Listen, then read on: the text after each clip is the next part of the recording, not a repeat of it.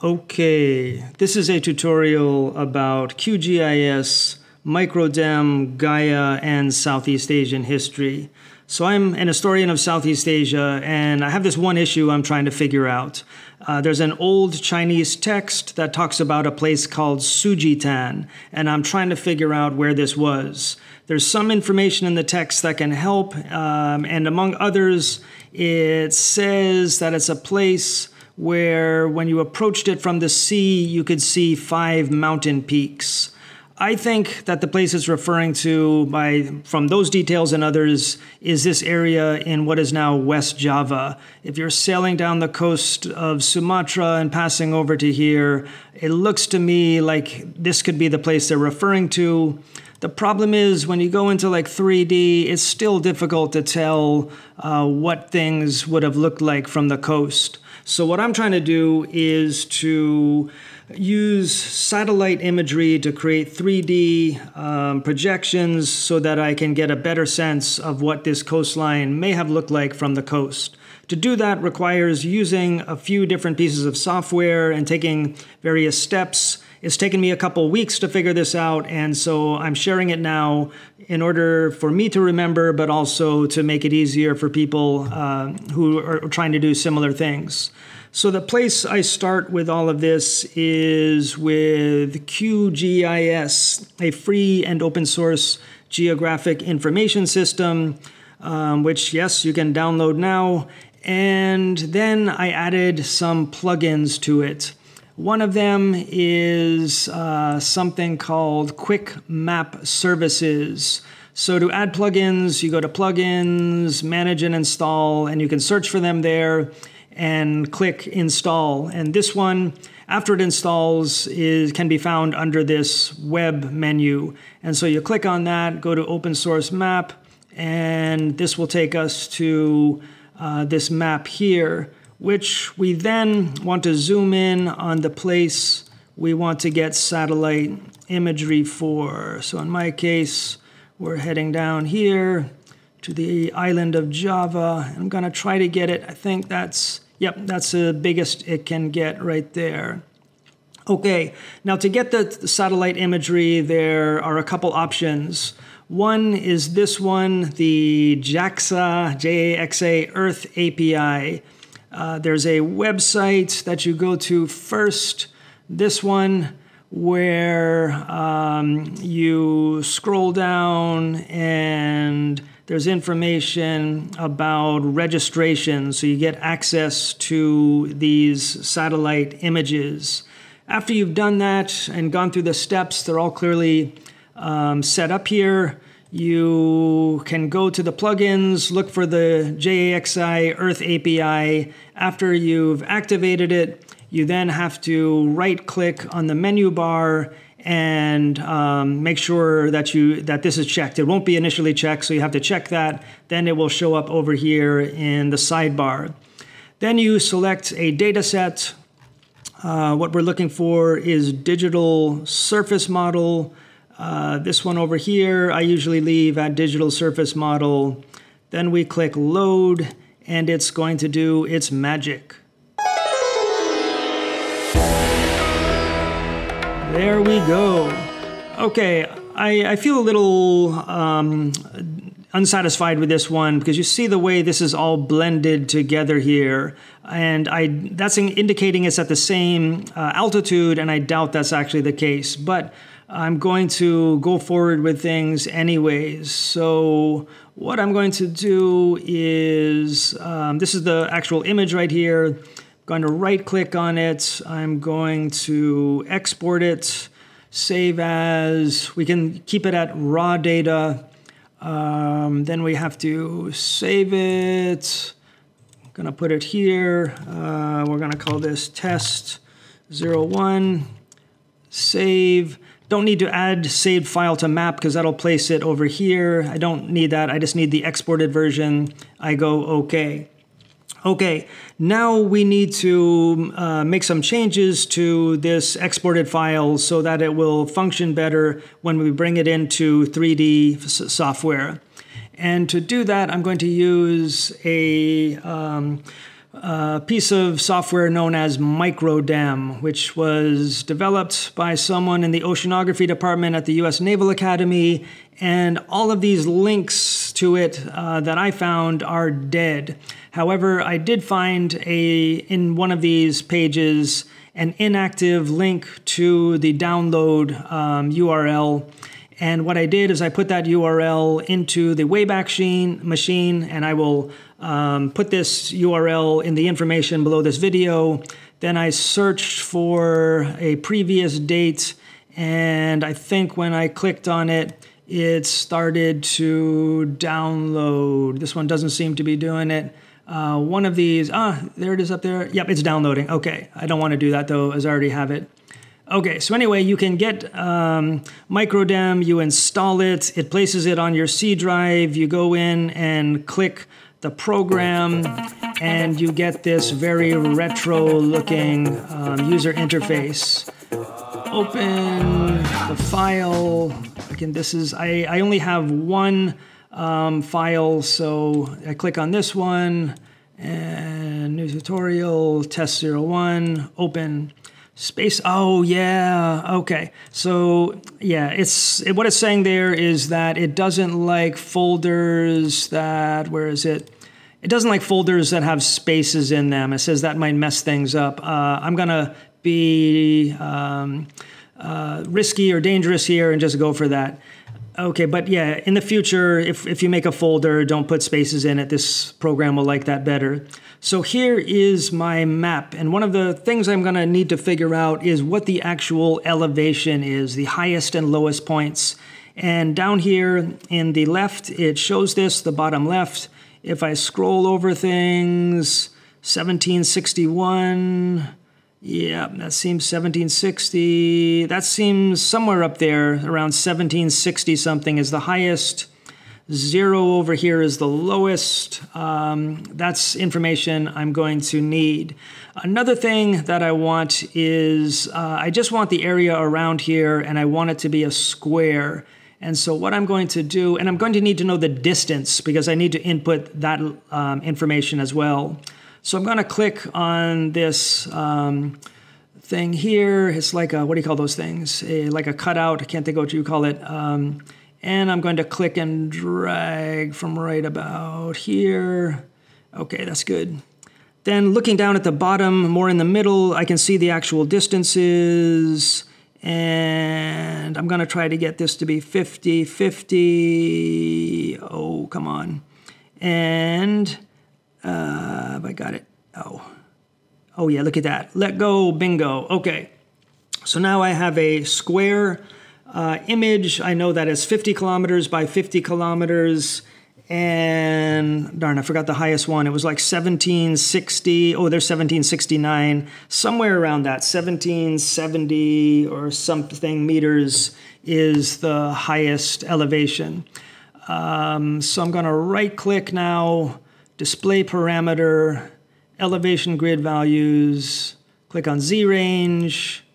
Okay, it's already calculated it for me, and sometimes this is right on the money, sometimes it's not. This is good enough for me. This could be more accurate. Uh, went to zero, I'm going to leave that. That's okay for me. Um, if it is inaccurate, though, you'd click on specified and then you can put in your own um, numbers. But I'm going to leave it like that. Okay. Ooh, I like that. Uh, pretty psychedelic. Look at that. One, two, three, four, five peaks. This could be the place. I need to click on grayscale, make it a, oh, see, this is what I think is going to be a problem. And um, this looks just too washed out here. Um, I don't know if this is going to work very well. And it might be possible to bring this into a program like Photoshop and bring out some of the details there. But I'm just going to go forward with this. And maybe there's ways in QGIS or even in this program to do that. I'm not really sure. But I'm just going to go ahead, I'm going to put the resolution at 100%. Then I'm going to file, where's export? Uh, save image. Uh, where did I go? Uh, new tutorial. I'm going to save it as a PNG. We're going to call this test 01 output and go like that. Okay.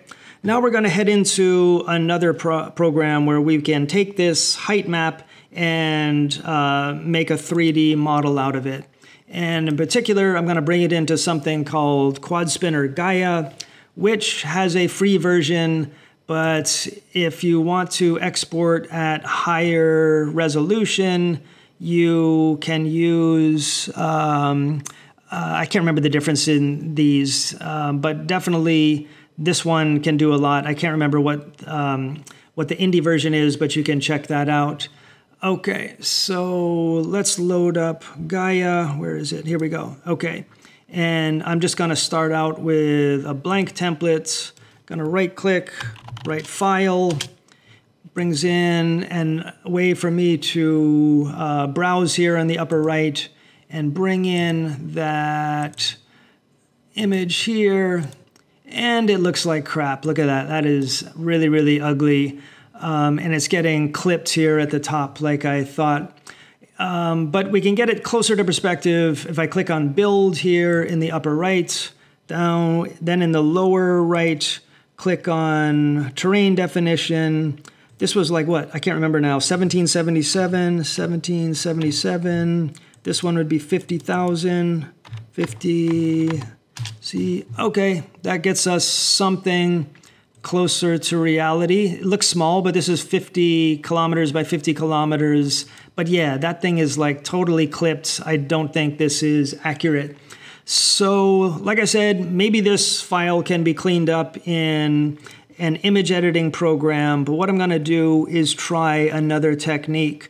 So I'm going to go back into QGIS um, and I'm going to get rid of this one. Um, why did I use this one in the first place? Because I've read that uh, the resolution of this one is supposed to be the highest of the um, freely available satellite imagery that's out there. So I wanted to give it a shot, but this didn't really work for me. So I'm going to remove group. Okay, get that out of there.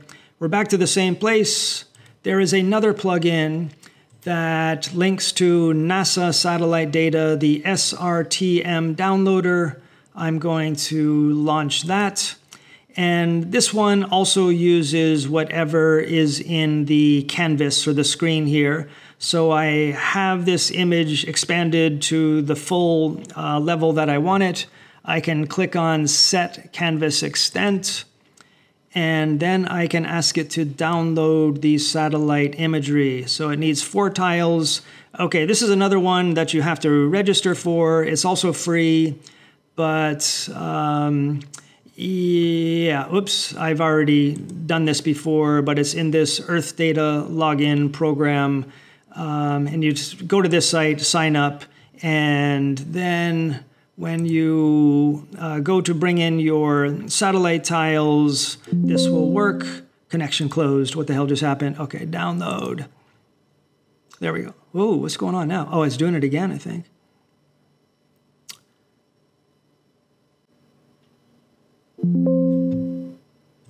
Okay, download complete, close. So now I have satellite imagery again, but as you can see, there's this seam going through it because it's actually four tiles. What I'm gonna do is go up to raster, miscellaneous, merge these. Then I have to click in, indicate which layers I want merged. I don't want the OpenStreetMap, so I just want these other four. Go like this, run, let's merge them, close. Okay, that looks better. Then I'm going to right click on merged. I'm going to go export, save as. We'll call this test 02. Save, and I don't need it there. Okay, that should do the trick. Now, once again, we're going to go to microdem. I'll get rid of this one. I will open a new file. There we go. Test 2, open. Uh, yeah, I know you don't like the space in the path. Okay, uh, and a couple other things. When I first used this program for the first time, there was grids over it, and I was able to click on this thing here and deactivate neither. Here was to deactivate the grids. Also, there were these kind of um, legends here telling me how many kilometers this was and what the elevation was and I had to right click here, click on Legends, Marginalia, and deselect um, elevation and scale bar. That's what it was. And so if those things are showing up, deselect them because when you export, those will be included if they're visible there. Okay, in any case, I need to get back my 50 by 50 kilometer um, image here as when that thing brought in the four tiles, it brought in um, imagery from beyond this my area of focus. So I'm going to do this again. This one always takes a little bit longer. Let me go. Okay, that one took me a long time for some reason. Also, with this program, if you mess up, there's no undo. You have to simply um, close it and, and reload it again. Okay, but here we have our image, and let's see what I need to do now. Again, right click, display parameter, elevation value grid, Z range. Wow, this one's way different. And I think this one is way different because it had that bigger, um, covered more territory, and in the bottom right, there were some mountains that are actually higher. So this one I do need to change and put in that same number again. I'll leave this number, I think that's okay. And we'll do that, make it grayscale, click OK, then go up here, save image, We'll call this test uh, 02 output. And yeah, I can't remember what the default here was, but I have it as a PNG file. Save. Let's go back into Gaea. We will import a this new file, test2 output, open, bingo. Okay, now this is looking probably more like reality. Okay, so I brought this one into Gaea and it definitely looks nicer. I'm gonna do a couple things to just clean it up a little bit. Um, what people will do is to use a heal node to kind of clean up any artifacts that might be in there. I'm just gonna put an erosion to get any more, some more natural looking lines. And you can tweak all of the um, parameters here if you want. Then I just want to get some color Okay, do this one. Um, I think I found one that was cool. Was it 94? Let's go. Dun dun. 91, 2, 3, 4. Yeah, that's cool. I'm, I'm into that. All right, so now let me try to get a sense. If you're coming down from the coast of Sumatra this way, you'd be looking at things from this perspective. Uh, let's see. Let me get some sky in here. Okay, get there. Now that's interesting. Now we're getting something here. Look at that. Just this one mountain area, there could be like, could be that the five peaks were like over in this area, like one, two, three, four, five. Yeah, there's that's the one that's closest to the shore. Uh, I don't really know how visible that would have been uh, as you look, you know, as it's more inland. And yeah, I think there's a river that goes up this way. It's possible that this is the place that this text was referring to. Okay, in any case, I've got to do more work on that, but I wanted to put together this tutorial so that I'd remember how I did these things and also to help explain to other people who are trying to figure out how to get satellite imagery into a program like Gaea and to have it be accurate. Um, it took me a couple weeks going through a whole bunch of different tutorials to finally get this figured out. Still have work to do. If anyone has any input, I'd love to hear it, but that's it for this one. Okay, see you later.